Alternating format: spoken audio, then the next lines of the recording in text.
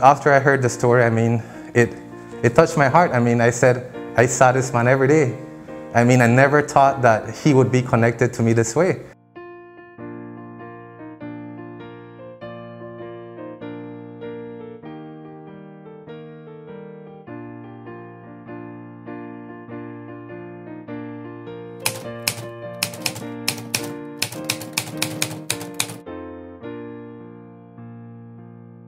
He called me aside and he says, Mr. Bobby Leslie, come here. What are your grades like? I said, I'm doing quite well. He said, you know how to write? I said, I think I know how to write. He says, well, all right, um, what do you want out of life? What? And I, it was amazing, you know. Here's this man, I know him, I know, I don't know him at all, and he's asking me, what do I want out of life? I said, well, you know, I, I like to serve people. Now, don't get me wrong, I was not being um, special and building myself up in any way. When I told him I like to serve people, at that time my greatest ambition in life was to be a bartender. I wanted to, I was a, my greatest ambition, I was going to graduate from St. John's College and I was going to get a job as a bartender because I like to serve people. I like to make people happy and comfortable. He totally misunderstood. I'm sure he totally misunderstood me because he says, oh, I, I, I have a way of your serving people. He says, um, I'm running the Belize Times. My mom and my father, they came here when they were very small. They came as a political asylum due to a civil war that was happening in Guatemala.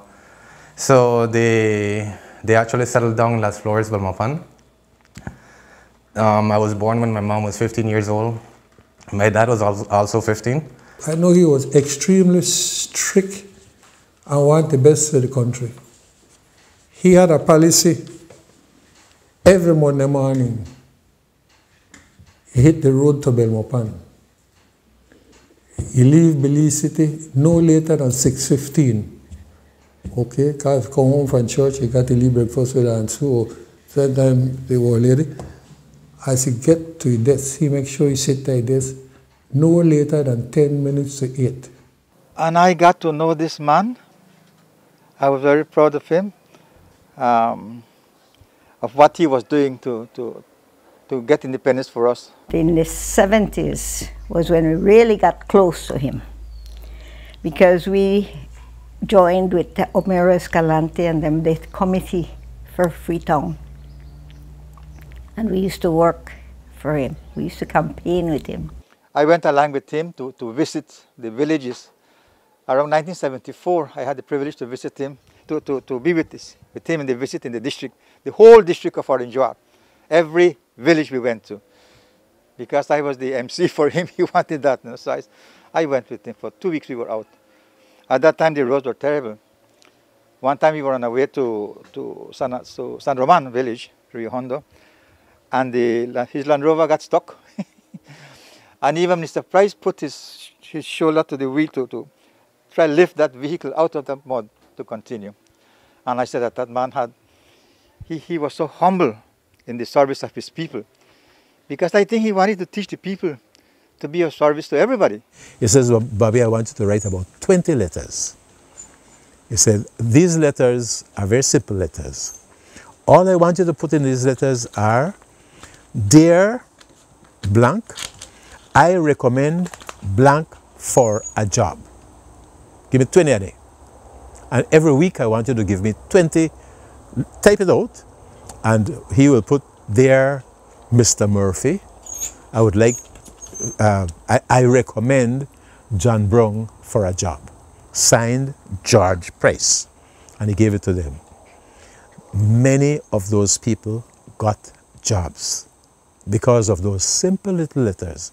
The committee decided they would give him a, a birthday party. And we started to serve. Said, okay, we'll serve everybody. And it's his birthday, so we decided we'll serve him. And he said, oh, no, no, no, the guests first. And he got up and he started serving. The kindness and the humanity of Mr. Price came about, came came directly to my attention when I noticed the many people who were walking into the office, who were walking into the office during office hours with problems. Some of them with their little babies, you know, some of them crippled, different, different people from different backgrounds, different ethnicities, you know, eh, quite a lot of people are coming in. And um, he very patiently sat and listened to each one of them. As when I was born, I had a very high fever. I was very yellow.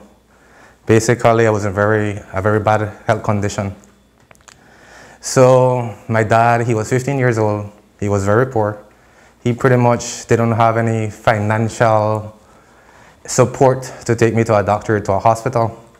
So my mom said one of the things that he decided to do was that every Wednesday, Honorable George Price would visit Belmopan in his office and people would actually go to see him.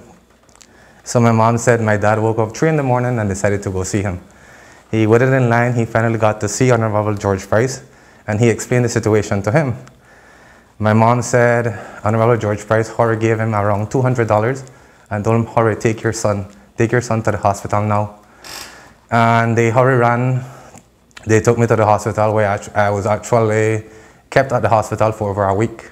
If a faucet was not working in one of the public, um, the, the, we had public faucets, you have to go with your bucket, and if, if a faucet wasn't working, he would make a fuss over it, a real fuss. People need the water so that they could bathe and wash their clothes and so on. So uh, whoever minister responsible for faucets this was prior to independence, mind you. This was the time when the British were in charge, and the British had no interest in whether our bulbs were on or our water was flowing. But he had that interest, and he made it very clear how important that was for the people. For the people who lived in the area, they had to have water, water to drink, water to wash their clothes, water to cook. I didn't know the story. Actually, I'm a proud graduate of Holy Redeemer School. So I grew up seeing Honorable George Price every day. I remember he always kept on telling me, Bobby, somebody must do the work. Why not you? Somebody must do the work. Why not you? And I think he took it upon himself. Somebody must do the work. Why not you? Let George do it. You know, in other words. You grow up learning in school that this is a national hero so obviously every day I would go and tell him good morning, good afternoon, good evening. As a kid, you feel good. I mean, it's Honorable George Price. And then later on, when my mom told me the story, I said, wow, I could have actually personally told him thank you. What I take away from him, and I will repeat it, is one, the, the lesson that you must serve. You must serve. I moved from being, from an ambition of being a bartender to an ambition of serving my country because of George Price. I graduated from Escuela Latinoamérica de Medicina, which is in Cuba, in 2019. I did my internship program at KHMH. I'm currently um, working at Karl Heusner Memorial Hospital in the COVID isolation unit. That kid that he helped, that kid that he actually gave the assistance to is now a doctor today.